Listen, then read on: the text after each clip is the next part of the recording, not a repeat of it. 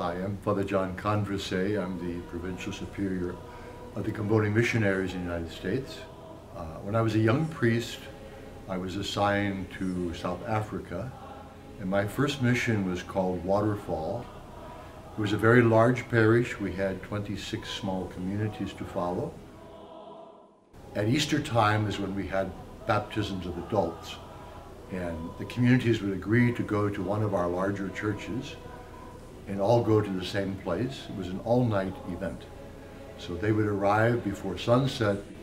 They would have tea, which meant they drank tea literally and had bread or biscuits. Then we would have a practice for the uh, Easter vigil. We would have confessions, and we would start the actual Easter vigil probably about 11.30. And then we would baptize 70 or 80 people. Now, the church was cram-packed, and there were people all around the church outside with doors and windows open. There were children everywhere, including sitting all over the sanctuary under our feet. We would finish about four in the morning, and then they would wait until light, have tea again, and go home. We were not permitted to live in the African area. This was the time of apartheid, so the, the mission center was in a white area surrounded by African areas. We had to have a separate permit to go into each area renewed each year.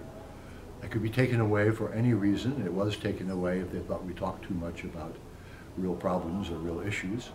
Waterfall Mission which was founded by the Comboni missionaries in 1924.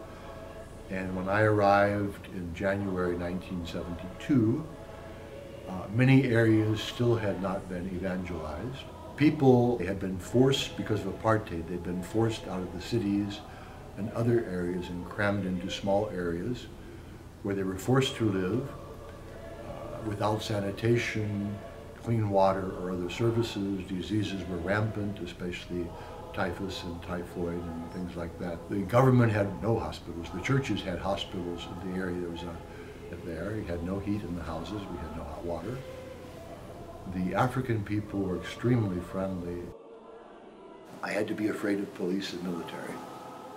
And they were dangerous. You didn't know what they would do when you came across them.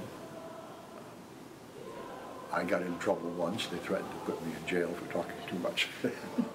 so we had a, a, double experience. We would have very faithful Christians coming to church to celebrate Easter with great fervor. But then the other side is that there'd be a very dangerous situation. That's why, for example, at Easter, the people would not dare to travel at night. The most important people in the church were the catechists.